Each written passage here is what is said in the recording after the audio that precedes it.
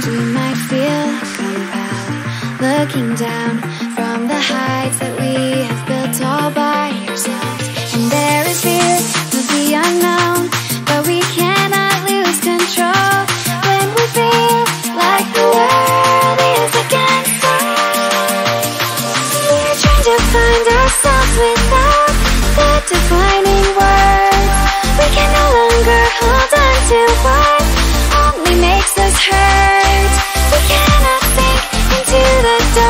avoiding God is getting shot.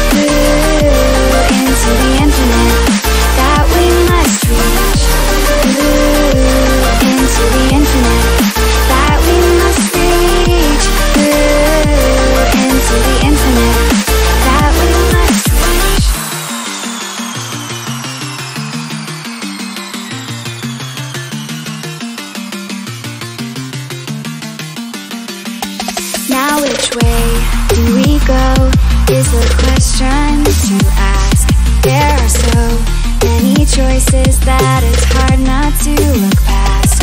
What is real and what is fake?